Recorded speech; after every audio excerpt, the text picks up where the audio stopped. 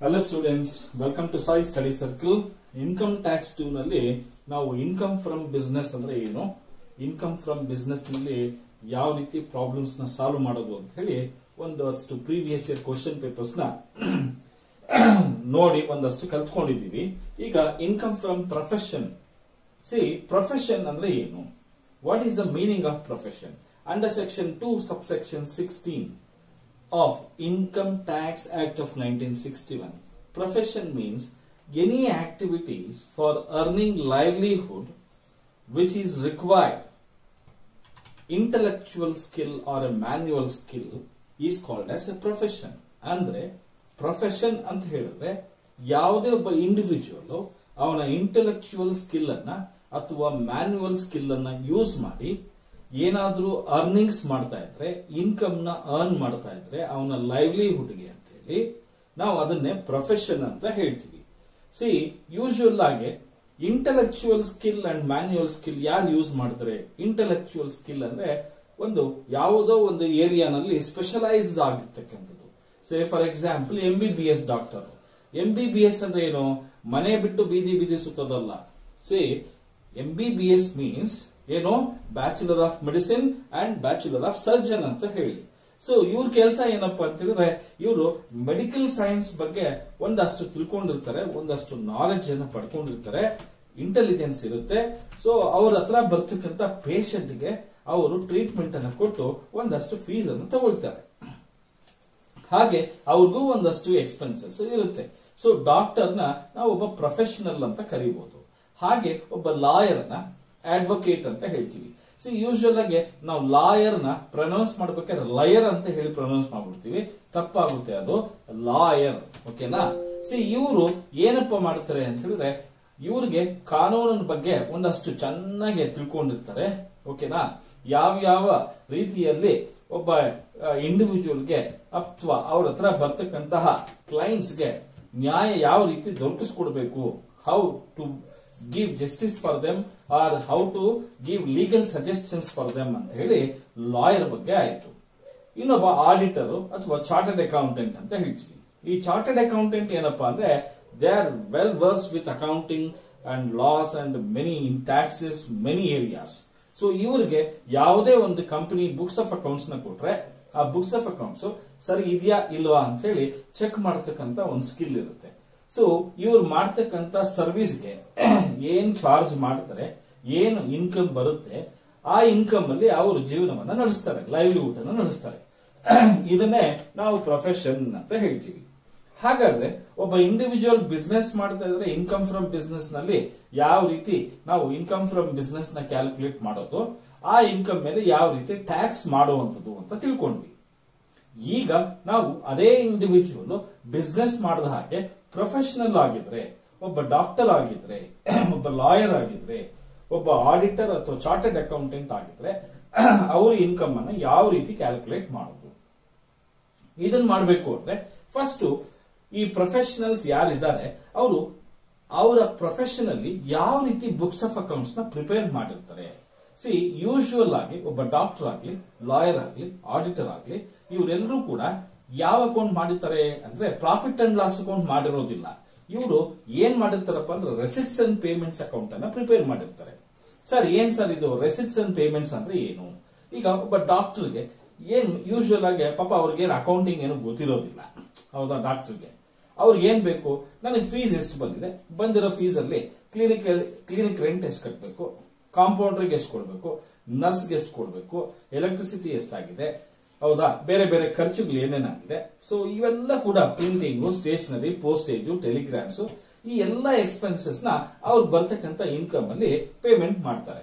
ಉಳಿದಿರೋದು net profit ಅಥವಾ net income ಆಗುತ್ತೆ ಸರ್ಪ್ಲಸ್ ಆಗುತ್ತೆ. ಅದರ ಮೇಲೆ ಯೂಶುವಲ್ ಆಗಿ ಡಾಕ್ಟರ್ ಟ್ಯಾಕ್ಸ್ ಕಟ್ತಾರೆ. ಅದೇ ತರ, ಒಬ್ಬ ಲಾಯರ್ಗಾದ್ರೆ ಲಾಯರ್ಗೆ ಏನ್ ಇನ್ಕಮ್ ಇರುತ್ತೆ? ಅವರು ಅವರ ಕ್ಲೈಂಟ್ಸ್ ಹತ್ರ ತಗೊಂಡಿರ್ತಕ್ಕಂಥ ಲಾಯರ್ ಫೀಸ್ ಆಗಿದೆ. ಆ ಲಾಯರ್ ಫೀಸ್ ಅಲ್ಲಿ ಅವ್ರು ಏನಾದರೂ ಆಫೀಸ್ ಓಪನ್ ಮಾಡಿದ್ರೆ ಆ ಆಫೀಸ್ ರೆಂಟ್ ಕಟ್ಟಬೇಕಾಗುತ್ತೆ ಪ್ರಿಂಟಿಂಗು ಸ್ಟೇಷನರಿ ಪೋಸ್ಟೇಜು ಟೆಲಿಗ್ರಾಮು ಎಲ್ಲ ಕೂಡ ಎಲ್ಲ ಎಕ್ಸ್ಪೆನ್ಸಸ್ ಆಗುತ್ತೆ. ನಾವು ಈ ಒಂದು ಚಾಪ್ಟರ್ ಅಲ್ಲಿ ನಾವು ಏನ್ ಕಲಿಬೇಕಪ್ಪ ಅಂತ ಹೇಳಿದ್ರೆ ಯಾವ ರೀತಿ ಒಂದು ಇನ್ಕಮ್ ಫ್ರಮ್ ಪ್ರೊಫೆಷನ್ ಅನ್ನ ಕ್ಯಾಲ್ಕುಲೇಟ್ ಮಾಡೋದು. How to calculate taxable income from profession see income from profession ಮಾಡಬೇಕಾದ್ರೆ ಫಸ್ಟ್ ನಾವು ಫಾರ್ಮೆಟ್ ಹಾಕೊಳ್ತೀವಿ. ಏನಂತ?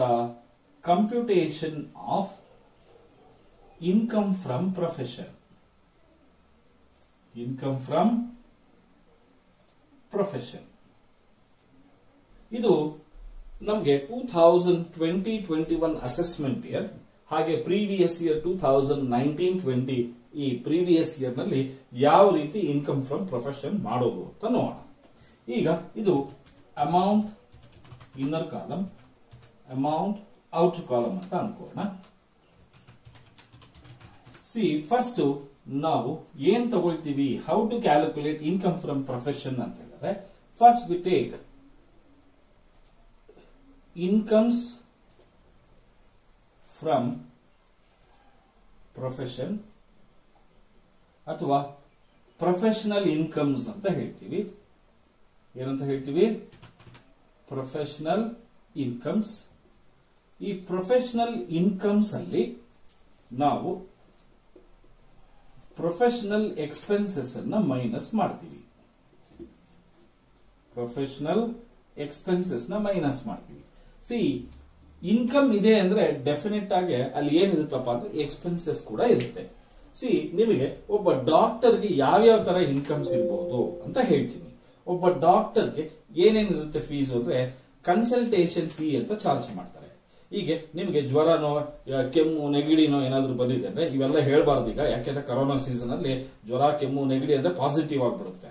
ಓಕೆನಾ? ಸೇ, ಹೊಟ್ಟೆ ನೋವು, ಏನೋ ಒಂದು ಬಂದಿದೆ, ತಲೆನೋವು, ಏನೋ ಬಂದಿದೆ ಅಂತ ಇಟ್ಕೋಣ ಹೊಟ್ಟೆ ನೋವು, ತಲೆನೋವು ಬರೋದು ಕರೋನಾನೇ ಓಕೆನಾ? ಯಾವ್ದು ಹೇಳೋದೇ ಇಲ್ಲ ಈಗ. ಸೇ, ಏನ್ ಸಿಂಪ್ಟಮ್ಸ್ ಇದ್ರು ನಿಮ್ಗೆ ಏನೇ ಹೆಚ್ಚು ಕಡಿಮೆ ಆದ್ರೂ ಈಗ ಕರೋನಾನೇ. ಆದ್ರೆ ನಾನು ಹೇಳ್ತಾ ಇರೋದು ನಾನ್ ಕರೋನಾ ಸೀಸನ್ ಅಂತ ಇಟ್ಕೋಣ ಓಕೆನಾ? ನೀವು ಒಬ್ಬ ಡಾಕ್ಟರ್ ಹತ್ರ ಏನಾದ್ರೂ ಹೆಲ್ತ್ ಇಶ್ಯೂಸ್ ಆಗಿ ಹೋದ್ರೆ ಫಸ್ಟ್ ನೀವೇನ್ ಮಾಡಬೇಕು? ಫಸ್ಟ್ ರಿಸೆಪ್ಷನ್ ಅಲ್ಲಿ ಒಂದು two hundred two ಫಿಫ್ಟಿನ five hundred rupees consultation fees ಕೊಟ್ಟು ಅದರ ರಿಸಿಪ್ಟ್ ತೋರಿಸಿದ್ರೆ ಮಾತ್ರ ಡಾಕ್ಟರ್ ನಿಮ್ಗೆ ಒಳಗೆ ಬಿಡ್ತಾರೆ. ಅದನ್ನೇ ನಮ್ಗೆ ಕನ್ಸಲ್ಟೇಷನ್ ಫೀಸ್ ಅಂತ ಹೇಳ್ತೀವಿ. ಇದೇ ಡಾಕ್ಟರ್ ಅವರ ಕ್ಲಿನಿಕಲ್ ಅಲ್ದ ಹಾಗೆ ಅವರು ಬೇರೆ ಕ್ಲಿನಿಕ್ ಹೋದ್ರೆ ವಿಸಿಟಿಂಗ್ ಫೀಸ್ ಅಂತ ಈ ಡಾಕ್ಟರ್ ಇನ್ನೊಂದು ಡಾಕ್ಟರ್ ಹತ್ರ ಕಲೆಕ್ಟ್ ಮಾಡ್ಕೊಡ್ತಾರೆ. ಅದನ್ನ ವಿಸಿಟಿಂಗ್ ಫೀಸ್ ಅಂತ ಹೇಳ್ತೀವಿ. ಓಕೆನಾ ಡಾಕ್ಟ್ರು ಏನ್ ಮಾಡ್ತಾನೆ ಬರೀ ಕನ್ಸಲ್ಟ್ ಮಾಡೋದಿಲ್ಲ, ನಿಮ್ಗೆ ಒಂದಷ್ಟು ಮೆಡಿಸಿನ್ ಅನ್ನ ಬರ್ಕೊಡ್ತಾರೆ, ಅಥವಾ ಒಂದಷ್ಟು ಮೆಡಿಸಿನ್ ಅನ್ನ ಸೇಲ್ ಮಾಡ್ತಾರೆ. ಸೊ ಅವಾಗ ಸೇಲ್ ಆಫ್ ಮೆಡಿಸಿನ್ ಅಂತ ಆಗುತ್ತೆ. ಅದೇ ತರ ಏನಾದ್ರೂ ಇನ್ನು ದೊಡ್ಡ ಕಾಯಿಲೆಗಳಿಂದ ಹೋದ್ರೆ ಆಪರೇಷನ್ ಏನಾದ್ರೂ ಮಾಡಬೇಕಾದ್ರೆ ಸರ್ಜರೀಸ್ ಮಾಡಬೇಕಾದ್ರೆ ಆಪರೇಷನ್ ಥಿಯೇಟರ್ ರೆಂಟ್ ಅನ್ನ ನಿಮ್ ಮೇಲೆ ಚಾರ್ಜ್ ಮಾಡ್ತಾರೆ. ಹೌದಾ? ಎಕ್ವಿಪ್ಮೆಂಟ್ಸ್ ಮೇಲೆ ಏನೇನಾಗಿರುತ್ತೆ ಅವೆಲ್ಲ ಕೂಡ ನಿಮಗೆ ಚಾರ್ಜ್ ಮಾಡ್ತಾರೆ. ಸಿ ಈಗ ಅದೇ ತರ ಒಬ್ಬ ಡಾಕ್ಟರ್ಗೆ ಇನ್ನೂ ಒಂಥರ ಏನಪ್ಪ ಇನ್ಕಮ್ ಅಂತ ಹೇಳಿದ್ರೆ ಒಬ್ಬ ಪೇಷಂಟ್ಗೆ ಚೆನ್ನಾಗಿ ಏನು ಟ್ರೀಟ್ಮೆಂಟ್ ಮಾಡಿ ಸರ್ಜರಿ ಮಾಡಿ ಆಪರೇಷನ್ ಮಾಡಿ ಸಕ್ಸಸ್ಫುಲ್ ಆದ್ಮೇಲೆ ಪೇಷಂಟ್ ಖುಷಿ ಆಗ್ಬಿಟ್ಟು ಏನಾದ್ರೂ ಗಿಫ್ಟ್ ಏನಾದ್ರೂ ಡಾಕ್ಟರ್ಗೆ ಕೊಡಬಹುದು ಸೊ ಆ ತರದ್ದು ಯಾವುದೇ ತರದ ಇನ್ಕಮ್ ಇದ್ರೂ ಕೂಡ ನಾವು ಪ್ರೊಫೆಷನಲ್ ಇನ್ಕಮ್ಸ್ ಅಂತ ಹೇಳ್ತೀವಿ.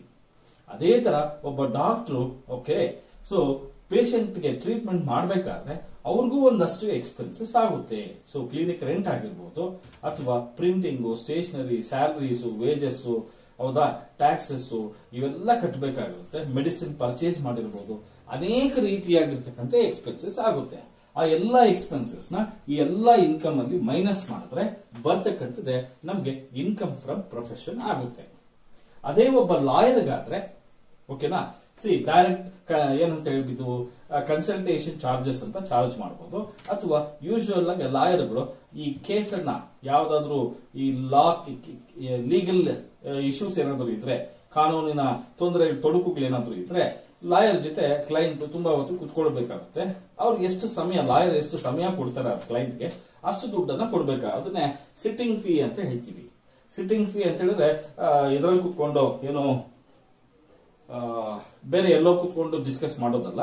ಎಲ್ಲಿ ಕುತ್ಕೊಂಡ್ರು ಹೋಟೆಲ್ ಕುತ್ಕೊಂಡ್ರು, ಎಲ್ಲೇ ಕುತ್ಕೊಂಡು ನಿಮ್ಗೆ ಲೀಗಲ್ ಆಗಿ ಸಜೆಷನ್ಸ್ ಏನಾದ್ರು ಕೊಡ್ಬೇಕಾದ್ರೆ ಲಾಯರ್ ಕ್ಲೈಂಟ್ ಹತ್ರದಿಂದ ಒಂದಷ್ಟು ಫೀಸ್ ಅಂತ ಚಾರ್ಜ್ ಮಾಡ್ತಾರೆ ಅದು ಬಿಟ್ಟು ಆರ್ಬಿಟ್ರೇಷನ್ ಫೀ ಅಂತ ಹೇಳಿ ಮತ್ತೆ ಟೈಪ್ ರೈಟಿಂಗ್ ಫೀಸ್ ಅಂತ ಹೇಳಿ ಡಾಕ್ಯುಮೆಂಟೇಶನ್ ಫೀ ಅಂತ ಹೇಳಿ ಮತ್ತೆ ಲಾ ಚಾರ್ಜಸ್ ಅಂತ ಹೇಳಿ ಲೀಗಲ್ ಚಾರ್ಜಸ್ ಅಂತ ಹೇಳಿ ಲಾಯರ್ ಪಡಿತಾನೆ. ಮತ್ತೆ ಗಿಫ್ಟ್ ಕೂಡ ಪಡಿಬಹುದು ಕೇಸ್ ಗೆದ್ದ ಮೇಲೆ ಖುಷಿಯಾಗಿ ಬೇಕಾದ್ರೆ ಕ್ಲೈಂಟ್ ಲಾಯರ್ಗೆ ಒಂದಷ್ಟು ಗಿಫ್ಟ್ ಅನ್ನು ಬೇಕಾದ್ರೂ ಕೊಡಬಹುದು ಇಷ್ಟು ಲಾಯರ್ಗೆ ಬರ್ತಕ್ಕಂಥ ಇನ್ಕಮ್ಸ್ ಇನ್ನು ಎಕ್ಸ್ಪೆನ್ಸಸ್ ಸೇಮ್ ಡಾಕ್ಟರ್ಗೆ ಏನೇನು ಹೇಳಿದೆ ಅಲ್ಲಿ ಮೆಡಿಸಿನ್ ಬಿಟ್ಟು ಇಲ್ಲಿ ಲಾಯರ್ ಯೂಶುವಲ್ ಆಗಿ ಸ್ಟೇಷನರಿ ಮೇಲೆ ಜಾಸ್ತಿ ಎಕ್ಸ್ಪೆಂಡಿಚರ್ ಆಗುತ್ತೆ. ಸೊ ಅದಕ್ಕೆ ಪ್ರಿಂಟಿಂಗ್ ಅಂಡ್ ಸ್ಟೇಷನರೀಸ್ ಜಾಸ್ತಿ ಇರುತ್ತೆ. ನಾನು ಪ್ರಾಬ್ಲಮ್ಸ್ ಬಂದಾಗ ಯಾವ್ಯಾವ ತರ ಎಕ್ಸ್ಪೆನ್ಸಸ್ ಆಗುತ್ತೆ. ಇವಾಗ ಒಬ್ಬ ಆಡಿಟರ್ಗೆ ಅಥವಾ ಚಾರ್ಟೆಡ್ ಅಕೌಂಟೆಂಟ್ಗೆ ಯಾವ ತರ ಇರುತ್ತೆ? ಅಕೌಂಟಿಂಗ್ ಪ್ರಿಫರೇಷನ್ ಚಾರ್ಜಸ್ ಆಗಿರ್ಬೋದು ಆಡಿಟ್ ಫೀಸ್ ಆಗಿರ್ಬೋದು, ಅಥವಾ ಬೇರೆ ಯಾವ್ದಾದ್ರು ಸಾಫ್ಟ್ವೇರ್ ಚಾರ್ಜಸ್ ಏನಾದ್ರು ಹಾಕಿರ್ಬೋದು. ಓಕೆನಾ ಈ ತರ ಮತ್ತೆ ಇನ್ವೆಸ್ಟ್ಮೆಂಟ್ಗೆ ಇನ್ವೆಸ್ಟ್ಮೆಂಟ್ ಅಡ್ವೈಸ್ ಮಾಡಿರೋದ್ರಿಂದ ಅವನಿಗೆ ಒಂದಷ್ಟು ಕಮಿಷನ್ ಆದ್ರೂ ಕೊಟ್ಟಿರ್ಬೋದು. ಸೊ ಇವೆಲ್ಲ ಕೂಡ ಯಾರಿಗೆ? ಒಬ್ಬ ಆಡಿಟರ್ಗೆ ಚಾರ್ಟೆಡ್ ಅಕೌಂಟೆಂಟ್ಗೆ ಇನ್ಕಮ್ ಆಗುತ್ತೆ. ಅದೇ ತರ ಎಕ್ಸ್ಪೆನ್ಸಸ್ ಕೂಡ ಡಾಕ್ಟರ್ಗೆ ಲಾಯರ್ಗೆ ಏನೇನಾಗಿತ್ತು, ಅಲ್ಲಿ ಮೆಡಿಸಿನ್ ಸ್ಟೇಷನರಿ ಬಿಟ್ಟು ತುಂಬಾ ಬೇರೆ ಬೇರೆ ತರದೆಲ್ಲ ಎಕ್ಸ್ಪೆನ್ಸಸ್ ಕೂಡ ಆಡಿಟರ್ಗೂ ಆಗಿರುತ್ತೆ. ಸೊ ಇಲ್ಲಿ ಕಾಮನ್ ಎಕ್ಸ್ಪೆನ್ಸಸ್ ಇರುತ್ತೆ. ಪ್ರಿಂಟಿಂಗು ಸ್ಟೇಷನರಿ ರೆಂಟು ಅವೆಲ್ಲ ಕೂಡ ಎಲ್ರಿಗೂ ಕಾಮನ್ ಆಗಿರುತ್ತೆ. ಇಷ್ಟು ಪ್ರೊಫೆಷನಲ್ ಇನ್ಕಮ್ ಅನ್ನ how to find out or how to compute income from profession ಅನ್ನೋದ್ರ ಬಗ್ಗೆ ನಿಮ್ಗೆ ಒಂದು ಇಂಟ್ರೊಡಕ್ಷನ್ ಕೊಟ್ಟಿದ್ದೀನಿ. ಓಕೆನಾ ಇದಾದ ಮೇಲೆ we will start learning slowly one after one ಎಲ್ಲ ಎಕ್ಸಾಮಿನೇಷನ್ ಕ್ವಶನ್ಸ್ ಕೂಡ ಸಾಲ್ವ್ ಮಾಡೋದಕ್ಕೆ ಪ್ರಯತ್ನ ಪಡೋಣ. ಓಕೆನಾ ಥ್ಯಾಂಕ್ ಯು ಸೋ ಮಚ್